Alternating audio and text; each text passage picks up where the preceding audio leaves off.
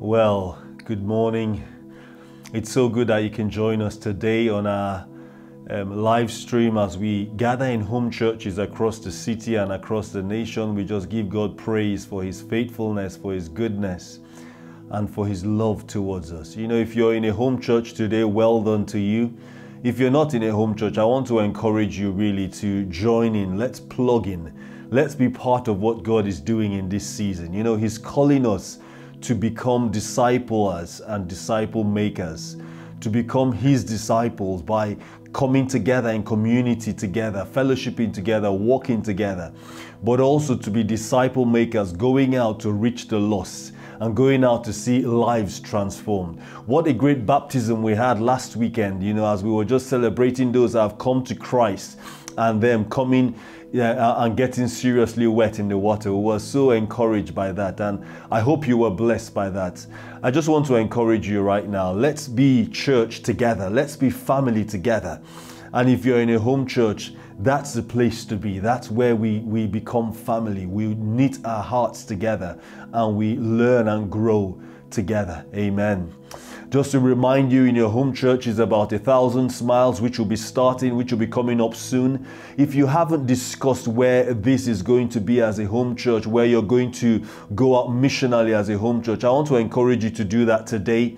You know, just pray into those areas, pray into where God wants you to go. And, you know, um, by now you should have requested how many bags, bags you need.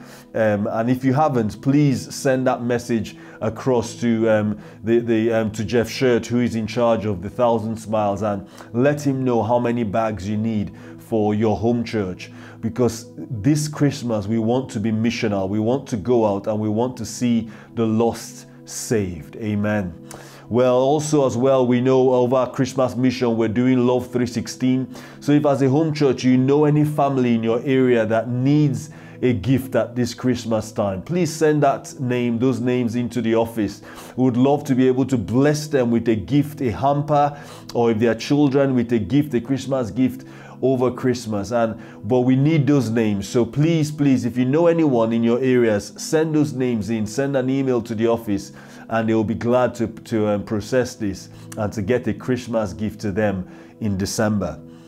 Amen. Well, we're looking at our next chapter in Acts, which is Acts chapter 7.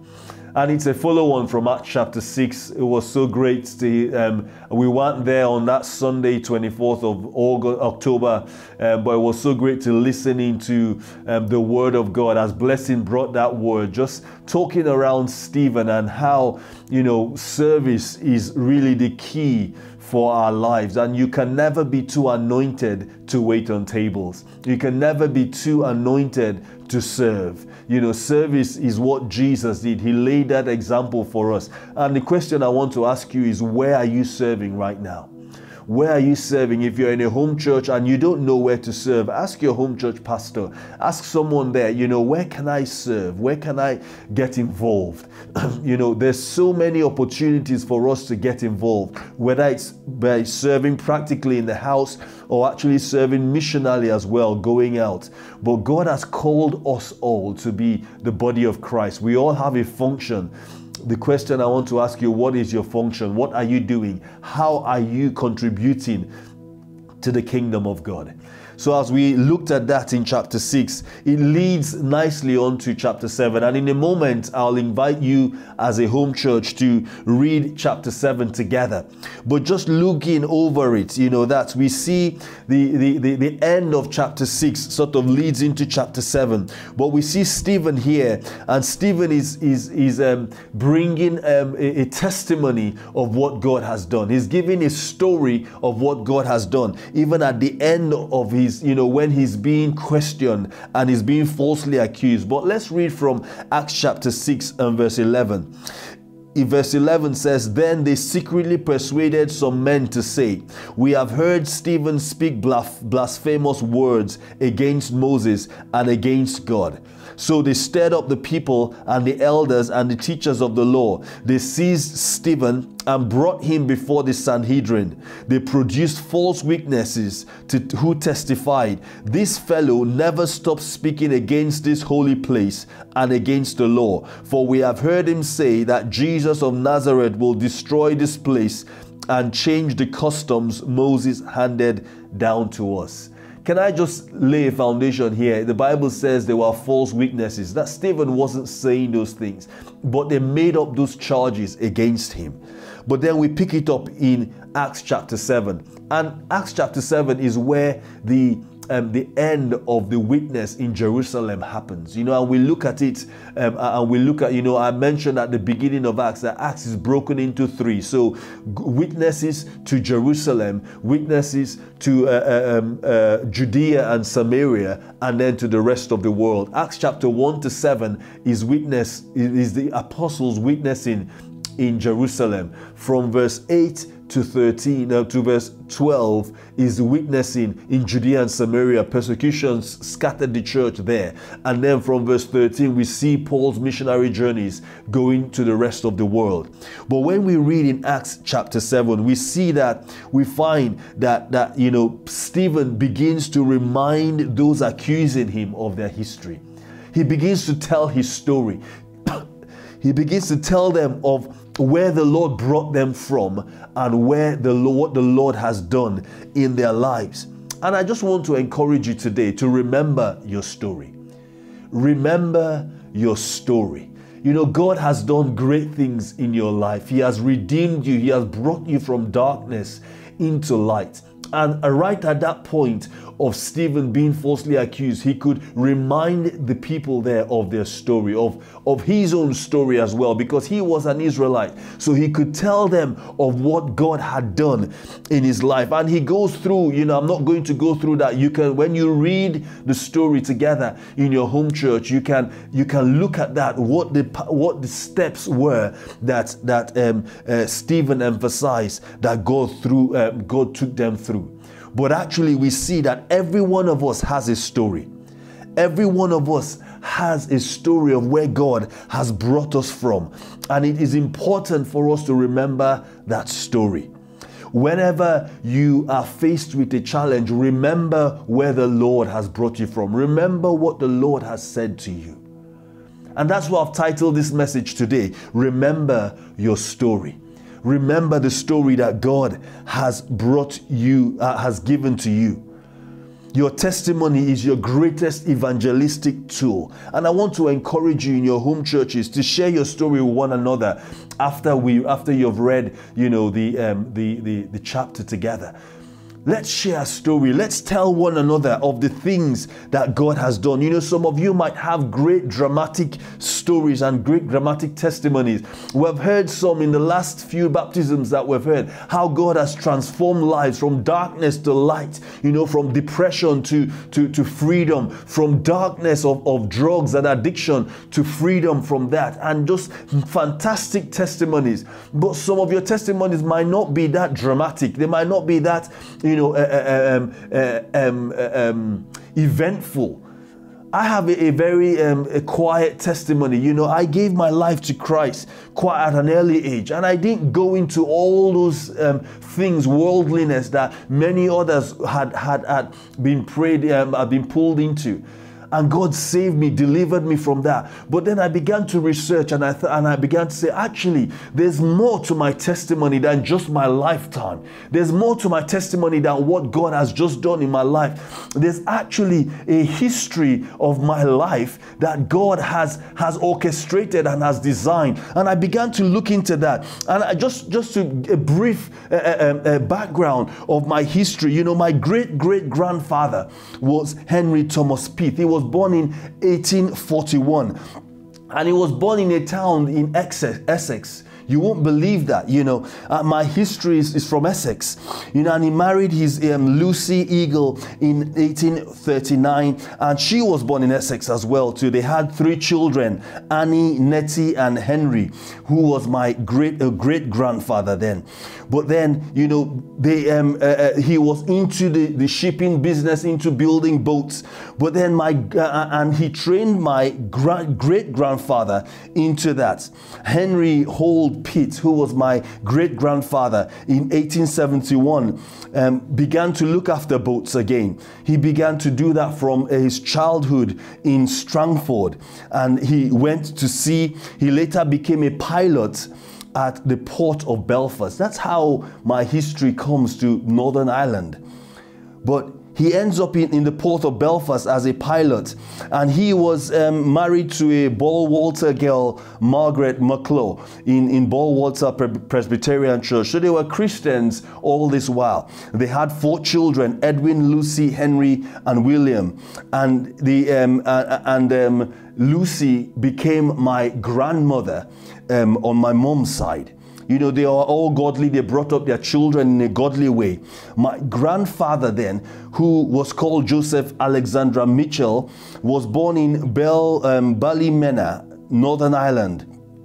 He was a businessman and he was a commercial tra- traveler of a big Scottish company. He was a Christian brought up in a very strict home um, of the exclusive Plymouth Brethren.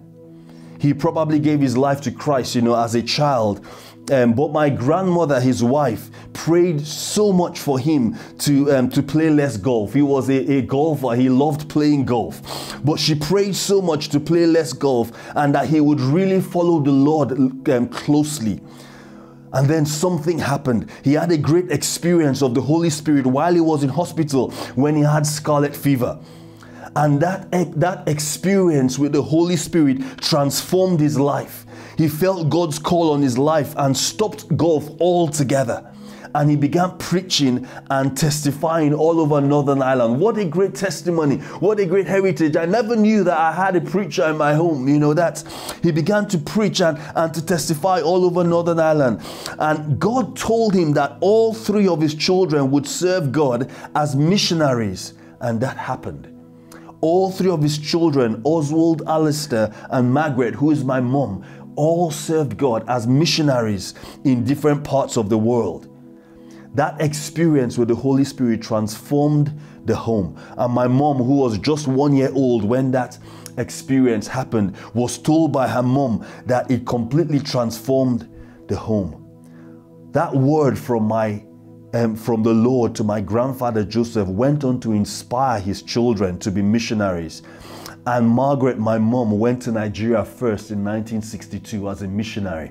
She went there as a missionary teacher to a women's teacher training college in eastern Nigeria. But after a few months, after about nine months, she was transferred to a mixed secondary school to teach there um, for one term only, initially to, to relieve another missionary teacher who was going on leave. And in that school was where she met my dad. Wow. What a great connection that the Lord does. He connects the dots together. He brings people. The story goes beyond, goes past your lifetime. It goes far beyond that. So God's word comes to my great uh, my, my grandfather to say his children will be missionaries. My mom goes off as a missionary to Nigeria and is uh, posted to a school where there are no men. But then something happens, one of the teachers gets pregnant, and she's transferred to this other school, and she meets my dad there. But my dad, on, on the other hand, who went to a Etienne uh, um, secondary school, and that's where he met my mom. He had gone on to university and, and, and had become, you know, a, a, a, a student there. But then they carried on in communication all that while they carried on. But he's just going to my dad's history. My dad, you know, he became a Christian while in the school, while at the secondary school, and often interpreted for um, the missionaries when they were preaching. What a great history. He was one of the people there interpreting the gospel for the, the missionaries out there. And, you know, that um, they got married in 1971 in New Bussa in Nigeria, in the northern part of Nigeria. But then in July, on July 31st in 1973, while he was on a scholarship to do his PhD in Toronto, Canada, he had a terrible nightmare when he believed he was being killed and immediately left all Christian worship and followed his mother in traditional religion, worshiping water spirits. That was a dark time in our family life. He that continued for 20 years until he attended a full gospel businessmen's outreach um, in August of 1993. So for 20 years he was away from the Lord. It was a I was born into that. But then in 1993, a student, a fellow student who was at the same university as he was, who had become an evangelist, preached the gospel, and my dad went forward for that altar call and was and gave his life back to the Lord. And he followed the Lord until he passed away. What a great history. And then I came into the picture. I came into the picture in 1979, not knowing all the history from the 1800s of how God had led and how God had been part of this. And I just thought, you know, I was born into this home and just um, lived my life. But then that history followed me. That call that God had placed on that family line was still there. And you know, at 13, I gave my heart to the Lord. And uh, minding my own business, God caught me and connected those dots together. And then a few years later, I met a, a girl called Rachael, who is now my wife, my beautiful wife. You know, I met her and she said, Oh, you know, that I'd love to do a master's in the UK. You know, that. And I had no plans of coming to the UK. I had no intention of doing that. I was happy in Nigeria doing what I was doing, oh, running my business. But then God connects that dot and He says, Actually, you need to be in the UK. And then a few months later, we find ourselves in the UK and in Derby, where we had no one, no history. God connected that dot, brought us to Derby and to New Life, where which we found on, on the yellow pages. God connects the dots, and now we end up leading the church here. Coming back as a missionary to the UK, God sent um, my mom over to Nigeria as a missionary, and now her son has come back to the UK to be a missionary to reach the very people that God had called, had sent, had sent her from. But actually, what we find is that we all have a story. You have a story, a story of God's redemption, a story of God's faithfulness, a story of God's provision, a story of God's healing, a story of God's miraculous intervention. We all have a story. You might not be able to trace it as far back as I did to your great great grandfather, but if you would, if you if you look far enough, you will see the finger of God in all of it. Stephen in this chapter was able to look back and to trace back God's faithfulness and God's plan of salvation for his people.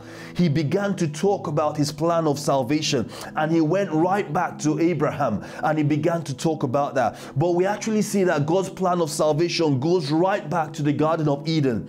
In Genesis 3 and verse 14 to 15, it says, For the Lord God said to the snake, Because you have done this, when he was cursing the snake, he says, Because you have done this, cursed are you above all livestock and all wild animals. You will crawl on your belly and you will eat dust all the days of your life. And I will put enmity between you and the woman, and between your offspring and hers. He will crush your head and you will strike his heel. Another version says, you, He will bruise your head. That's her seed was Jesus. The plan of salvation was already given right at the fall of man. He was predicted to come right from the beginning. We see that plan unfolding in the New Testament you read the Gospels, you see that plan. But in John 3, verse 16 to 21, it says, For God so loved the world that he gave his one and only Son, that whoever believes in him shall not perish, but have eternal life. For God did not send his Son into the world to condemn the world, but to save the world through him. Whoever believes in him is not condemned. But whoever does not believe stands condemned already because they have not believed in the name of God's one and only Son. This is the verdict. Light has come into the world, but people love darkness instead of light because their deeds were evil. Everyone who does evil hates the light and will not come into the light for fear of that deeds will be for fear that deeds will be exposed. But whoever lives in the truth comes into light, so that it may be seen plainly that what they have done has been done in the sight of God. Wow. God's plan of salvation is for you today, that you might come into the light. If you don't know God today, His plan is for you to realize that He loves you so much and He brings you into that light and in your home church is just going on, I just want to encourage you to read through that book of Acts, that chapter of Acts, chapter 7, and discuss these questions. What does this passage say about God? What does this passage say about man? What is your story of God's faithfulness and redemption? And I want you to go around the room, tell your story of God's faithfulness, God's redemption how He saved you, how He transformed you. And then who are you going to tell this story to this week? Who are you going to tell your testimony to? Who can you speak about God's redemption power to this week?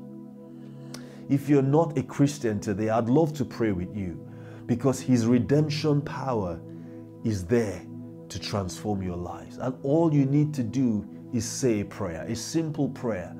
Just inviting Jesus into your heart, and that's what unlocks his redemption in your life. And that changes the history of your life forever. You might be the first generation Christian in your home. That doesn't matter. That's what God wants, that you are the first generation of Christians in your home. He wants to love you, He wants to show you His faithfulness and His love. Hallelujah. If you're not a Christian today, I want to lead you in that prayer. But if you're a Christian today, you can pray that same prayer as well. If you've gone far away from God and you want to rededicate your life, you can pray that prayer as well. God is close and He wants to hear you pray that prayer and to come close to you. Will you join me this um, today, right now, as we pray this prayer of salvation? Just repeat after me Lord Jesus, I invite you into my heart. I thank you for the story that you have given me. And I thank you for your plan of salvation. I ask that you come into my heart. Take my sin away and give me new life. Fill me with your Holy Spirit and transform my life. I turn away from my sin and I come to you. I ask for forgiveness. Forgive me all my sins. In Jesus' name, amen. Amen. If you prayed that prayer, I'd love you, if you're in a home church, to speak to your home church pastor straight after this. If you're watching online and you prayed that prayer, I'll encourage you to put something in the comment section. Tell someone about what God has done in your life. Let us be able to support you. We would love to get some of your details so that we can send you some resources that will help you along this journey. But it's been great that you've been able to watch this. I pray that the rest of this time in your home church will be a blessing as you talk together, as you spend time just um, re- um, searching the scriptures and let God reveal to you all the truth that He has for you. God bless you, and it's been great to speak to you.